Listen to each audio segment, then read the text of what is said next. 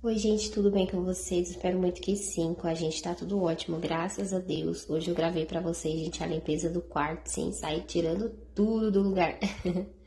Esses dias atrás, meu esposo limpou o forro e lavou o vidro, gente, um cantinho da parede ali. Então ficou mais fácil a limpeza de hoje.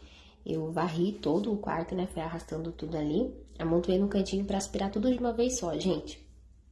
Retirei pó da minha cabeceira eu tirei pó dos cantinhos da cama e tirei pó dos quadros, tirei pó do guarda-roupa, enfim, gente, geral. Passei um paninho na janela, meu esposo já tinha lavado, não tava tão sujo.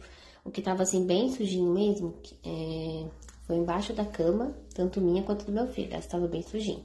No mais, assim, até que não tava tanto, gente.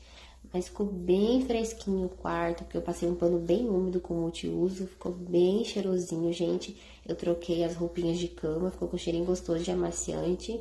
Dá até gosto de dormir, gente, olha só que paz. Passei multiuso também no espelho, gente, ficou bem limpinho, tava cheio de marquinha de dedo. Coisa do meu filho, né, do meu filho e do meu esposo, cheio de marquinha de dedo. Olha só que paz, tudo limpinho, graças a Deus, gente uma paz inexplicável.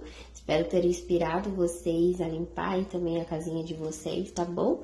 Eu amo servir de inspiração. Que Deus abençoe cada um de vocês. Sintam essa paz.